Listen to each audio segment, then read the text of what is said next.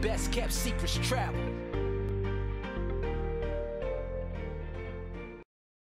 Whilst you're in Australia, these are some of the top experiences that we've either experienced or we know other people have experienced, and they're just everything from the first one we've got is 1770 Middle Island Castaway Experience, Poo with a view. So most people won't really know what it is. It's the time Morgan and I drove an old army LARC vehicle. For, uh, used in the Vietnam War for transporting troops. Yes.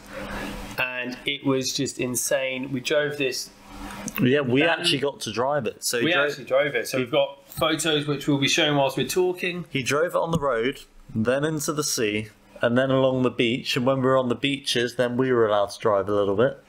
And then this Castaway Island, unlike anywhere else we've been before, you feel like you're fending for yourself. You just, it's a bit like COVID, really. You don't see anyone for days.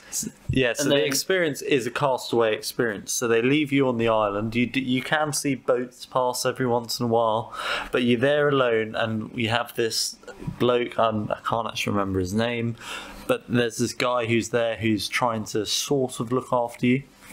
And there's so many activities you can do from, he takes you out on a mini sort of motorboat and then you go dune boarding into the water, which I've never done before. And which we have some funny photos. We were fishing, we were kayaking, we kayaked across the river and then started hitting wild oysters Wild off a oysters, rock. Yeah, There's just it's loads insane. of kangaroos. There was the lighthouse we walked up to. we sat around this campfire and then this possum turned up and he said, "Oh, it's my friend." So which is a wild possum. it was completely wild possum. Then it just came and sat on the corner and he'd give it a couple of bits of fruit and it was insane.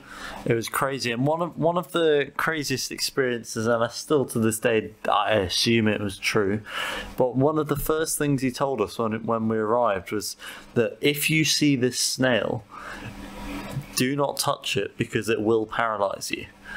I don't know if he was just trying to scare us. And it, he probably was, and and that and we and that was we later found out when we were actually because when we went fishing, we actually went and got our own bait Yeah, which was really cool.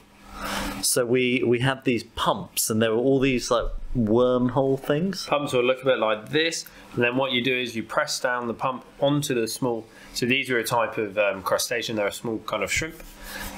And then you pull up the pump, which compresses small vacuum internally, so it sucks up all the mud, and then you shoot it to one side, and then you handpick out the small little creatures. Then But we what- hit them on and caught a few fish. Yeah, but what he told us was that this snail, if you touch it, can paralyze you if it if it shoots its venom at you, which in Australia. It's You believable. believe it. Yeah, we we have no idea. But when we were fishing for these bait, we looked, and it was it was barely twenty yards out from the shore. There were hundreds of them, all over the seabed. It was it was crazy, and that that was slightly disconcerting because we we'd walked across from a different place uh, when the tide was out because we went to the other side of the island. And just to think that we could have so comfortably walked across that, it was slightly slightly worrying.